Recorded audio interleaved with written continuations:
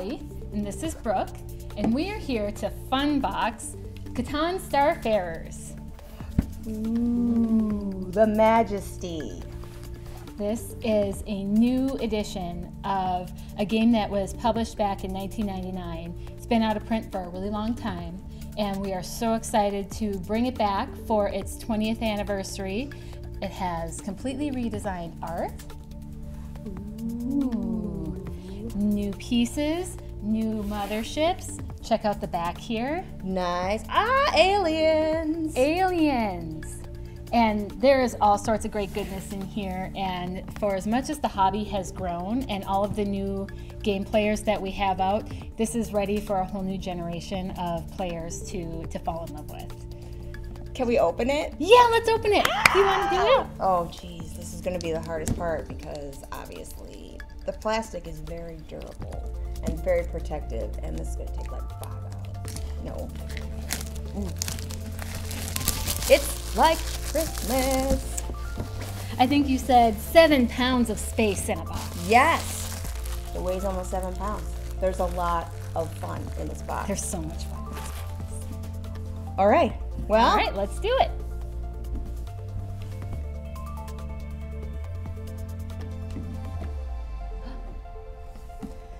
Oh, are these organizing trays? Organizing I am so trays. in love right now. Yes. A place for everything and everything in its place. It is so organized. Uh, oh my gosh. And it even has, I don't know if you can see, but it's got the exchange ratios right on there. So if you're doing resources, you know how many you can get in return for what you turn in. Yep. And I'm curious what this question mark is, but maybe we'll, We'll talk about that we later. will talk about that. We certainly can. So, the rule book. This book is uh, fantastic to get you started with your first game, basic overviews. This is a great place to set up your first game and get playing. The almanac is a little heftier, has a ton of details. Every question you have about this game is in the almanac. It really is everything that you need. Motherships, pirate bases. My question is, because Catan Incas is my favorite Catan, are there space llamas? No, there's not even sheep. Maybe for an expansion? Ooh, sounds like a good. Don't say it. Don't say it. I'm just I'm I'm I'm just like I'm just like a fan. Like I could say all kinds of crazy things that will never come to be. If you say it, suddenly there will be space llamas everywhere, which sounds amazing. We don't have space llamas, but we have amazing aliens. I'd love to meet them. All right, well, let's start out with some of this amazing punch. Oh my gosh, so much punch. Do you like punching out punch board? Yes, and It's actually, I have found the the uh, aliens are right here. So I'm gonna start with those. Yeah, punch them out. And I found the alien outposts, alien bases where they live, so I will punch them out and we can show them together.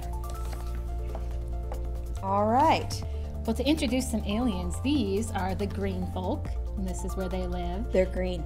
They are green, hence the name. They're, they're very happy looking, and I like them a lot. They help your planets to be more productive. You get more resources, that's what they help you do. The diplomats help you become more famous, and they help richer planets help poorer planets. They persuade, they're very diplomatic. They're the net. They're the networking Networkers. race. Yep. yep, they're good. The merchants. The merchants help you in trading. They travel throughout the galaxy, making deals and trying to decide, you know, what they can get from you. And if you make them mad, they might hurt your ship. So it's good to become friends with them. The scientists. The scientists have the best technological advances and help your motherships to become more efficient and help you move throughout the galaxy better. They also have the best hats. Yeah, so which one's your favorite? Uh, I think I might have to go with the diplomats. Like he's got a cape and Yeah, he's like, stately. Yeah, he's got and that really nice ruff behind him. Also, Mm-hmm. kind of looks like a dinosaur, which I think are pretty cool. Yeah, I kind of like the green folk. They're just so happy. They look like I would like to hang out with them for a weekend. Yeah, yeah, Yeah. they look like they're a good party. All right. So, all of those over there that I see you started punching are planets, planetary systems. Oh, which means we can talk about resources. Yeah. Have you played Catan before? I have played Catan before. All right. So you know about hexes. Well, these are kind of like hexes, but they are planetary systems. And the color of the planet indicates what kind of resources they produce. These are set up a little bit different from the hexes that we're familiar with. You settle your space colonies in between the planets to determine what resources you're sitting on. And so we have all of these brand new colors, brand new resources, and these get spread out throughout this entire board. Another interesting thing. Yes, tell me about these. They look like medallions. They like what? are- They are This is something medals, I'm not familiar with from my Catan playing. These are fame medals. They come in halves.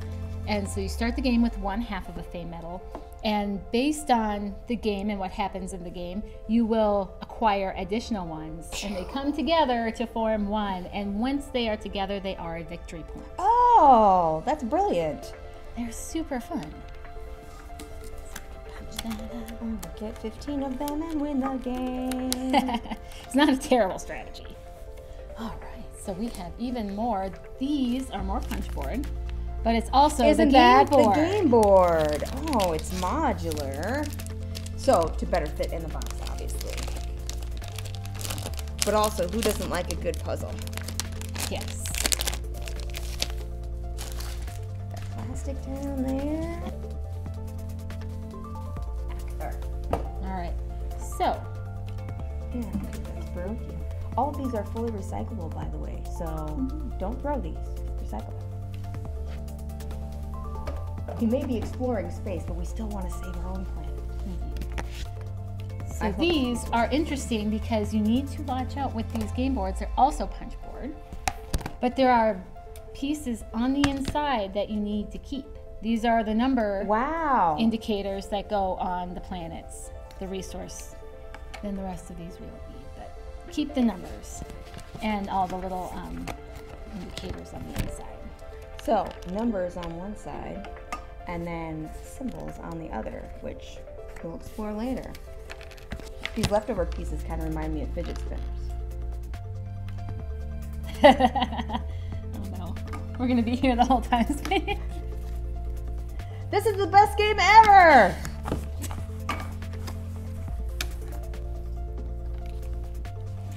all right, we did it. We did it! Victory! Oh, we almost did it. Okay, so now we get to explore this puzzle. And as you can see, just like in regular Catan, there are numbers, the bottom corner of the piece that indicate which pieces line up, you know, so that you're not left guessing. So one into one and so on. Okay, yes, sixes. Fantastic. This one goes on the end here. Yeah. You got it. Two.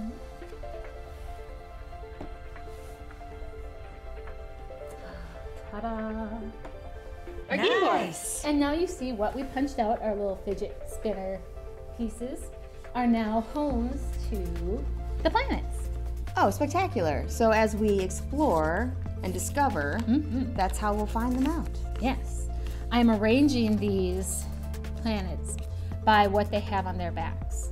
Two stars indicates a more far space. You see this kind of nebula. They go beyond that. The one star is near space and they go here. Uh, there are several ways that we set up this board that make it more variable than the last one. So the old Starfarers of Catan was a pre-printed board that just folded out and everything was static. And the only thing that changed was the numbers on, on the planets. This is fully customizable. It can be changed. There is a starting setup in, defined in the rules, uh, or you can randomize it to your heart's content. You can also play the surprise version where everything is started upside down And you don't know until you discover the planet. until you discover the planet and then you flip over your things and oh, find Oh, I like that there. excitement. It's it's a lot more variable and fun. It adds just a whole bunch more excitement and cool things. So these go there, and you get these little alien planets go out there. The best part. Oh my gosh. This is I think it's part- finally This time to is talk the about part the part I've been thing. waiting for. Let's be honest. So, I think the most exciting part of this game are the mothership. Mothership. I love it. It's so cool. I love it. So the old one, Starfarers of Catan, the ships were notoriously fragile. Yeah, and and plastics technology has come a long way in 20 years. That was supposed, supposed to happen. yes, I it is didn't supposed break to it. It's fine. No. You twist and pull. Oh my I'll gosh, show that you was so easy. Wait, there's more. There's more. Oh, see, I did it accidentally and now I can't do it. Oh, never mind. Got it. Got it. These are the stickers. I was very excited about the stickers when I was looking at the box, thinking that they would be amazing, that I could put on my coffee mug or my laptop. Still amazing, not as exciting as I pictured. They go on the bottom Oh, to indicate what player color oh my belongs gosh. to which. Yeah, so you can sticker one up if you want. Um, I think I'd like to be blue. Is blue your favorite player color? Um, out of this range, normally I go with purple. Yeah, I've got a custom Catan wood set that's purple, and that's yeah, that's the one we like. So, Oh, let me see if I can take this off on command. I can. This Yes. is see, it's so easy. I could even do it on purpose. Ah, there it is. so the fun thing about these ships is that you take these little color indicator balls and you put them in here, But wait, I can see two of them on the Yes. bottom. And those will indicate your ship strength or your ship speed. Or they will make you have encounters with aliens. They they determine a lot of what happens in a game. And one fun thing about these They look like candy, but don't eat them. Do not eat them, please. they do look cute, though. Just like you wouldn't eat rocket fuel, Th- Yeah, it's don't basically eat rocket fuel. the rocket fuel. And what they do snap in here and Oh, orange and blue. I don't know what that means, Orange but I'm yellow. excited. each color of ball indicates a number for movement, and then you add them together, and they tell you how far your ships fly on your turn. Fantastic. Yeah. You want to see what else we can do with these motherships? Yes. All right. How do you like some firepower? I'm sorry, but did you say accessorize? yes. These are cannons, and Pew, yeah, pew pew. They go right in Oh, here. right on the top. Yep. And, And so they don't It'll fall out. out. and they don't. Yeah, they were like I said, they were notoriously fragile, and so we've been, you know, testing these pretty thoroughly to make sure that they don't. Oops, oops. I'm not gonna throw it, but No. no, I don't recommend. But they are nice and sturdy and loud. I love it. Yeah. So What else? How else can I dress up my mothership? How about boosters? Boosters, I can go faster and further. Yes. Boosters help you fly faster. Here, a few for you. Oh, these are great. Here, a few for me. They just. Oh my gosh, each ship could have like six. Yeah. It's so ridiculous and amazing. And so your movement, if you get a base movement of three, you add one for each booster. That gets you up to six. That's a pretty good move on the board. So, um, Oh, very there you go. highly recommend upgrading boosters. But wait, there's more. There are freight pods. Freight pods let you settle um, and meet with your with alien friends. The more freight pods you have, the more places you can uh, interact and trade with with your alien um, peoples. And it also helps you terraform ice planets, things like that. So these are pretty tricked out. Yeah, Yeah. check that action out. I got cannons. I got boosters. I got storage pods. I'm ready to go. I know. It's so fun. Ah, great. They're so great. Okay, let's see what else. Oh, another thing these things do. These great uh, little storage Oh. containers we were looking at before.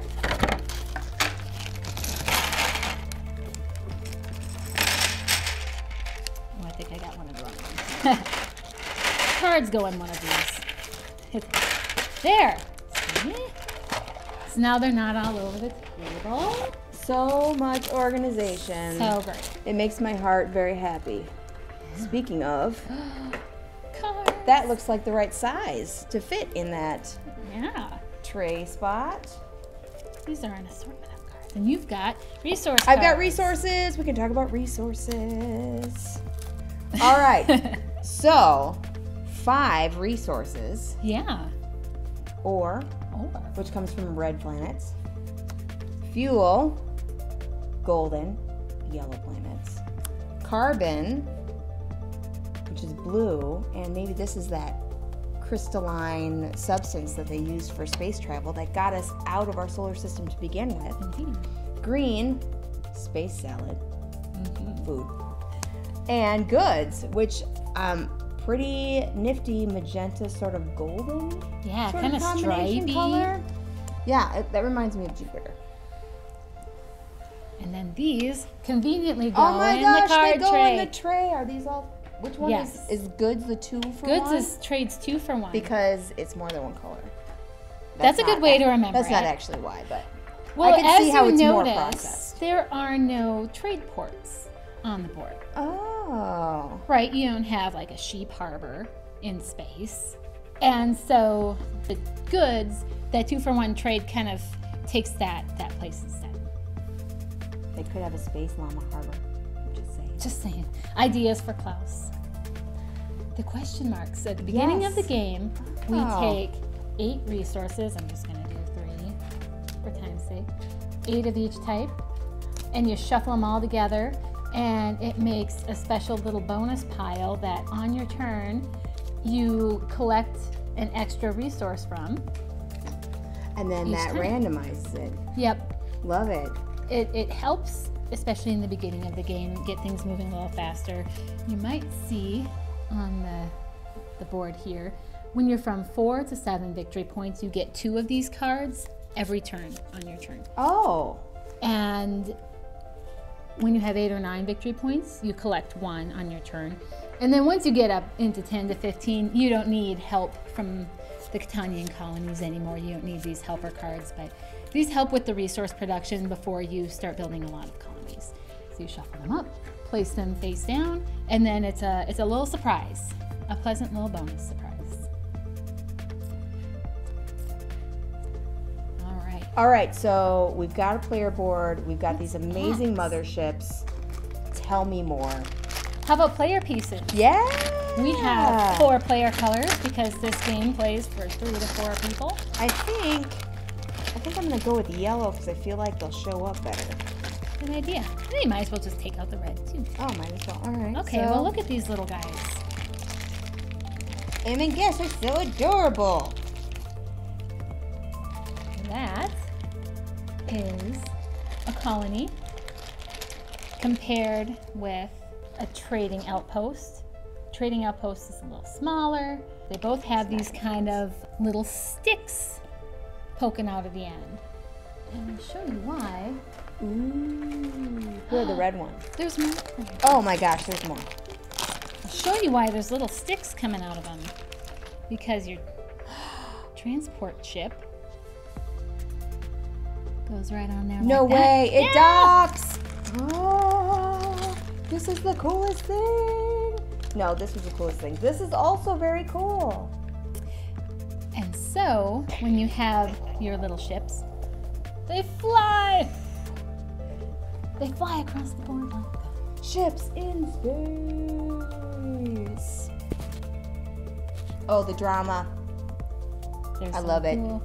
There are also shipyard rings that once you, excuse me, box, once you settle your, you wouldn't do this on an empty space, but put it around like that, and then you have a spaceport, which is worth two victory points. So if you think of these as settlements, or then upgrading to like city, And then these trading ships go to meet the aliens and get you special benefits and powers. Fantastic. So that's how you build a mm-hmm. relationship with the aliens and get those extra special, Extra bennies. more resources, networking. Let's check those out. So we have cards, and there are several cards per alien civilization. And once you reach those civilizations, and and you put your trading outposts there, you can choose one of these cards and the benefits that it provides. Yeah, check out Zuzo. He gives me a two to one exchange rate for carbon. And during my trade and build phase, you may trade carbon with supply at a rate of two to one. Two carbon for one other resource of your choice. How about Reba? Ah. Who gives you fame for sale? During your turn, you may buy one half a fame medal for one trade good. If that's not a way to buy your way to fame, I don't know what is. No kidding. Yeah, Raba's a good good alien to know as well. Let's see. Um, I'm gonna check out the scientists again. Best hats.